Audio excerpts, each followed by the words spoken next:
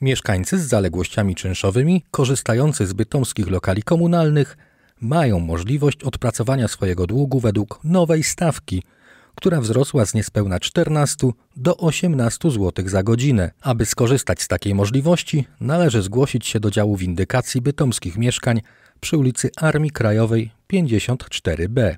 To są różne prace. To są prace takie remontowe, naprawcze, konserwacyjne, pielęgnacja zieleni, czasami takie pomocnicze prace administracyjne i mogą one być świadczone w różnych e, jednostkach gminy, zarówno u nas w bytomskich mieszkaniach, e, jak i w MOP, w przedszkolach, e, w szkołach.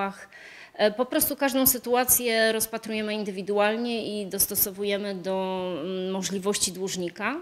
Tylko w tym roku takie kroki podjęły już 32 osoby, które odpracowały blisko 100 tysięcy złotych. Łącznie w zasobach bytomskich mieszkań zaległości czynszowe obciążają ponad 10 tysięcy lokali, generując kwotę długu przekraczającą 300 milionów złotych.